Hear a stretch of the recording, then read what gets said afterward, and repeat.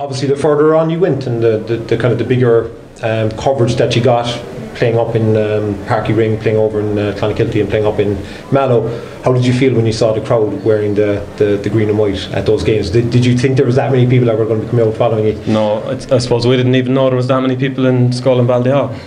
Um, like to the West Cork final was massive as well. Uh, it's big support for Gabriels. There was a lot of neutrals following it as well. But uh, into the county, going to going up to Bally Ballyvourney was it Ballyvourney against uh, Knocknagree, there was massive support, and then on to the Munster final and or the, the county final and the Munster final.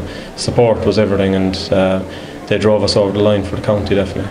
I'd like to think getting to the Munster, it wasn't just Ballyhog and Schull, it was all of West Cork that was supporting us really getting up there and they came out in droves to support us really. Um, and throughout the season, did you feel there was there was a moment or a particular score in a game that kind of changed the season for you? That you kind of thought, you know what, we can actually go on and achieve, you know, pretty pretty big things here. Not really, it was the manager really. Well, the manager, yeah, and instilling the all belief of winning into us. It wasn't just winning a game, it was gradually going from start to finish and where we ended up. Michael Bryan win, win, Maybe that win. that replay against Knocknagree, where, where I think was nine points to one one. That was that was my, you know that.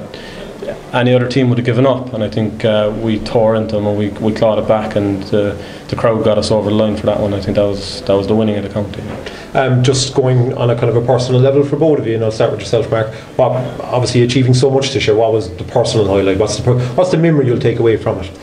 Uh, I suppose uh, captaining Gabriel Rangers to winning a county is you know walking up the steps in front of the lads. It's uh, it's, uh, it's a moment and a day I'll never forget. So that's definitely my career. Standout moment. Yeah, yeah, yeah. Yourself, Donal? For me, I think this this is the second year playing junior A, um, first year starting and playing fully through. I think the highlight is just playing with friends that I grew up with. It's outstanding. I've been away for 14 years up in Cork City working, and just to come back training with the boys, it's outstanding to play with your f- lads that you grew up with. Um, you have one or two fellas that are, are, I think, going away on J1s in Australia and whatnot. Are you expecting to, to be challenging as well as you did now? That there's a Um, step up for you? Yeah, I suppose. Look, we've lost Stephen Mann. He's gone to Australia for a year, but uh, we brought a couple of lads back, uh, a couple of older lads and a couple of younger lads coming through. So I think we'll push on now. Hopefully, we'll give it a good rattle. So. Perfect. Well, I'll wish you the best for the year ahead, lads, and uh, enjoy the night. Cheers. Thank you. Thanks very Cheers, much. guys.